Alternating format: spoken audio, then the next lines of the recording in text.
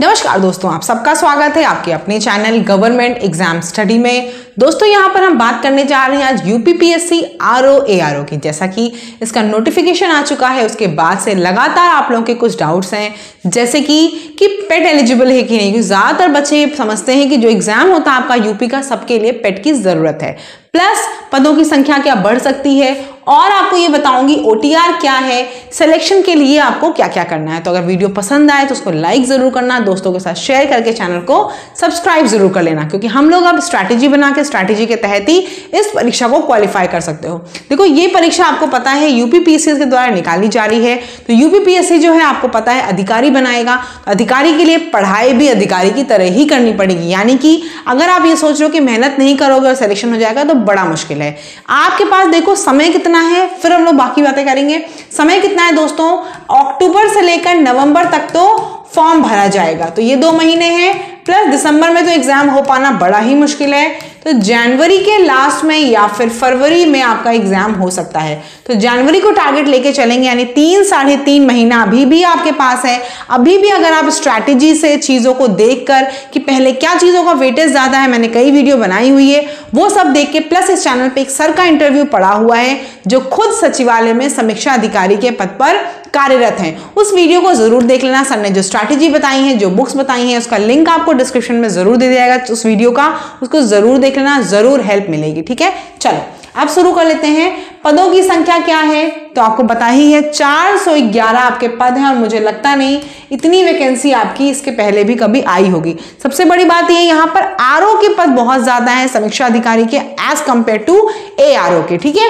दूसरी चीज़ दोस्तों, यहाँ क्या बताना चाहूँगी आपको कि जो पदों की संख्या है, ये बढ़ भी सकती है। घटने के चांसेस तो कम ही है, बढ़ सकती क्यों क्योंकि लोकसभा का चुनाव आने वाला है, ठीक है? योग्यता क्या है आपकी? एज क्या है? तो एज वही आपकी 21 से 40 रहेगी। योग्यता मैं अभी आगे डिस्कस करूँगी। सिलेबस आपको बता दूँगी फॉर्म को कैसे भरना, सबसे इंपॉर्टेंट जो यहाँ पे है वो क्या है? ओटीआर तो ओटीआर क्या है? देखो दोस्तों ओटीआर कुछ नहीं है। जैसे आप फॉर्म भरते हो तो वहाँ नाम, पापा का नाम, अपनी डेट ऑफ़ बर्थ वगैरह डालते हो, अपने नंबर वगैरह। वही सेम आपको यहाँ ओ में करना है। ओटीआर देखो करने में टाइम लगेगा। ओटीआर करके आपको ओटीआर नंबर तुरंत नहीं मिलेगा, इसीलिए मैं बता रही हूँ। कि लास्ट दिन का वेट मत करो फॉर्म को भर लो, क्योंकि बहत्तर घंटे बाद आपका ओटीआर आएगा। जब ओटीआर आ जाएगा, तब आप फॉर्म को फिल करोगे और बाकी काम करोगे, ठीक है?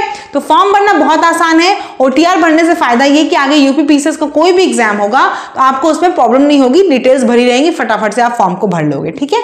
कोई इश्यू आता है तो मुझे कमेंट सेक्शन में बताना। मैं ओटीआर की डेफिनेट दूसरी वीडियो ले आऊँगी, जहाँ बताऊँगी कैसे आपको फॉर्म को भरना है, ठीक है? सिलेक्शन के लिए क्या करना है, वो तो मैं भी आपको बताऊँगी ही। चलो नेक्स्ट वीडियो देख लेते हैं नेक्स्ट स्लाइड क्या है हमारी?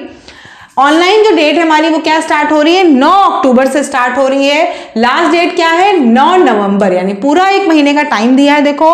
तो इसलिए टाइम को वो मत करना कि लास्ट दिन बैठे रहना, फिर बोलना, मैम, अब फॉर्म में भरा नहीं आ रहा। साइड पे भाई ट्रैफ़िक ज़्यादा हो जाएगा। फॉर्म को अभी आ गया है टाइम से, भर दो फ्री होकर पढ़ाई करना शुरू करो। स्ट्रैटेजी बनाओ टाइम टेबल बना के पढ़ाई करो।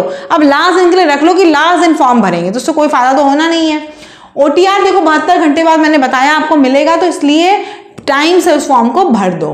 फ़ीस अगर बात कर लो तो जनरल ओबीसी ईडब्ल्यूएस की एक सौ पच्चीस रुपए है एस सी एस टी की पैंसठ रुपए है, फिजिकली हैंडीकैप दिव्यांग दिव्यांगजन की पच्चीस रुपए है, एक्स सर्विसमैन की पैंसठ रुपए है freedom fighter, female, sports quota, इन सब लोगों को अपनी कैटेगरी के अंदर ही फ़ीस लगेगी। यानी कि कोई लड़की अगर है, महिला है और वो जनरल कैटेगरी की है तो उनकी फ़ीस 125 है। कोई महिला एससी है तो उसकी फ़ीस कितनी होगी? 25 होगी। सबसे इंपॉर्टेंट बात बार बार बता रही हूँ पेट की कोई रिक्वायरमेंट नहीं है यहाँ पे। अब इसके बाद मुझे कमेंट में पूछना मैम पेट चाहिए कि नहीं? पेट की कोई ज़रूरत नहीं यहाँ पे, ठीक है? प्लस इस जॉब में सबसे अच्छी बात है कि आपको सीधे अधिकारी कैसे बना रहे हैं। बिना किसी इंटरव्यू के आप क्या हो रहे हो? सीधे अधिकारी बन जा रहे हो। कोई इंटरव्यू नहीं होगा, सिर्फ़ दो फ़ेज़ में एग्ज़ाम होता है, आपका एक प्री होता है और एक आपका मेंस होता है। बस यही दोनों कर लिया, आपने क्वालिफाई तो आपकी नैया पार हो जाएगी, ठीक है? चलो, आगे देख लो। आगे क्या हमारा? देखो, आगे लिखा हुआ सचिवालय, मैंने बताया आपको 322 पद आए हैं। सबसे अच्छी बात पता है इस एग्ज़ाम की क्या है? कि इस एग्ज़ाम में आपका ट्रांसफ़र नहीं होता है। इस एग्ज़ाम में मतलब नौकरी में आपको पता है सबसे प्रॉब्लम जो होती है हर एग्ज़ाम में वो क्या होती है? ट्रांसफ़र की हो जाती है। यहाँ पर क्या है? लड़कियों के लिए प्लस लड़कों के लिए भी अच्छी अपॉर्चुनिटी क्या है कि आप एक ही शहर में सचिवालय में आपको तीन सौ बाईस पद मिले, यानी आप लखनऊ के, लखनऊ में ही पूरी लाइफ टाइम रह सकते हो, ठीक है? चलो सैलरी क्या है? अगर एआरओ में आपका सिलेक्शन होता है तो आपकी सैलरी ये होगी बेसिक पे जो है चौवालीस हज़ार नौ सौ से एक लाख बयालीस हज़ार चार सौ, यानी कि पचहत्तर हज़ार से तो ऊपर ही आपकी सैलरी रहनी है, ठीक है?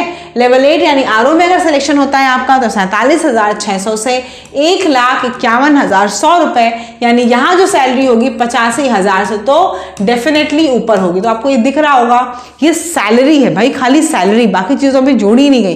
तो ये सैलरी इतनी ज़्यादा आपको इन हैंड मिल रही तो मेरे ख्याल से तो यही बहुत अच्छी चीज़ है मोटिवेशन के लिए सैलरी से अच्छा क्या हो सकता है?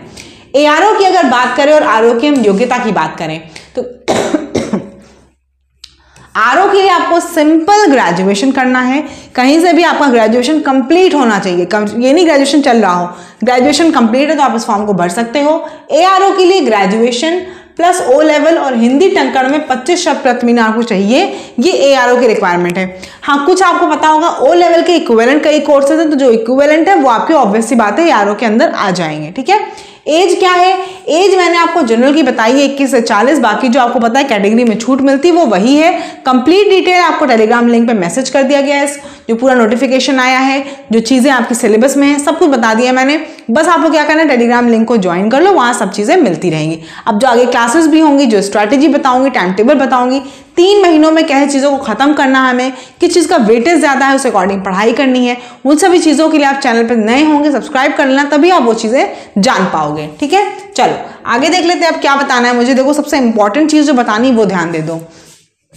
मैंने आपको बताया, तीन फ़ेज़ में एग्ज़ाम नहीं होता, सिर्फ़ दो फ़ेज़ में होता है। प्री होता है और मेंस होता है, कोई इंटरव्यू यहाँ पर नहीं होता है।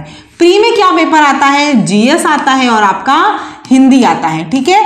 हिंदी आता है। जीएस कितने नंबर का है? जीएस आपका 140 है। हिंदी कितने का है? हिंदी आपका 60 का है। 60 में भी आपको पता है, सिर्फ़ छह टॉपिक आते हैं। छह टॉपिक मतलब क्या है? हर टॉपिक से 10 क्वेश्चन आते हैं, ठीक है?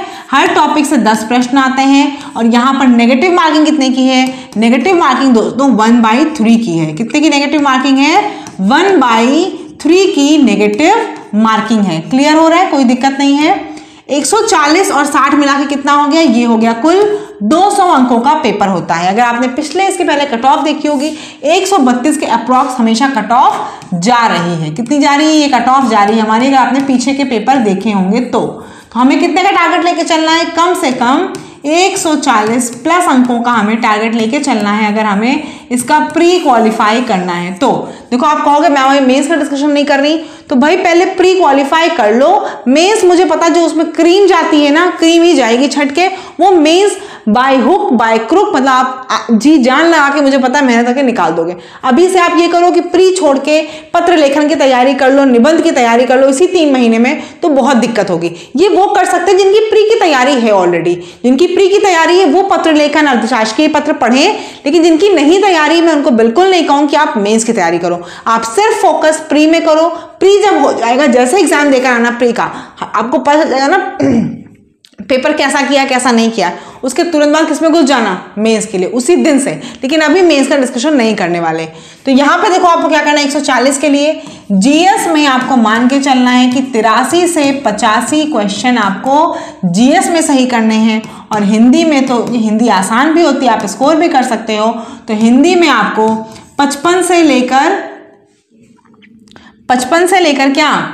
पचपन से लेकर आपको अट्ठावन नंबर तक आपको हिंदी में स्कोर करने हैं। तभी आपका ये टारगेट जो है पचासी, एक सौ चालीस प्लस वाला वो अचीव होगा। अब इसका मतलब आपको कितने क्वेश्चन करके आने हैं? अटेम्प्ट कम से कम कम से कम जीएस में तो इसमें तो पूरा साठ के साठ मुझे पता है करके आओगे। जीएस में कम से कम 120 क्वेश्चन तो अटेम्प्ट करना होगा। अटेम्प्ट के लिए क्या होगा? पढ़ाई तो ज़रूरी है, पढ़े रहोगे तभी तो कर पाओगे। अब देखो, इसके पहले मैंने वीडियो बताई थी, मैंने आपको बताया था किन चीज़ों का वेटेज ज़्यादा है। लेकिन फिर से मैं सेपरेट वीडियो एक बना दूँगी। जैसे कि मैं आपको बता चुकी हूँ हिस्ट्री हिस्ट्री आपको ज़्यादा फोकस करना है हिस्ट्री का वेटेज बहुत ज़्यादा है। करंट अफेयर ठीक है? इसका भी वेटेज ज़्यादा है। रीजनिंग से मैंने कहा है आपके फ्री के नंबर मिलते हैं। रीजनिंग से फ्री के 10 से 12 नंबर मिल जाते हैं। तो रीजनिंग तो सबको बहुत अच्छे से ध्यान देनी है, ठीक है? यही ओवरऑल चीज़ें थी, आपको जो बतानी थी। कोई और क्वेरी हो तो कमेंट सेक्शन में पूछना। प्लस मैं आपको क्या सारे सारी चीज़ें आपको भेज चुकी हूँ टेलीग्राम पे, जो इसका कंप्लीट पीडीएफ है, जो भी इसका सिलेबस है, सब भेज चुकी हूँ नोटिफिकेशन वगैरह भी। आपको कोई क्वेरी हो कमेंट सेक्शन में बताना। मैं यहाँ पर आपको स्ट्रैटेजी बताऊँगी टाइम टेबल बताऊँगी, कैसे कैसे पढ़ना है, तीन महीने में आपकी चीज़ें कवर हो जाएँगी। वीडियो अच्छी लगे तो लाइक तो करना, दोस्तों शेयर करना और सब्सक्राइब बार बार कह रही हूँ, ज़रूर कर देना। धन्यवाद।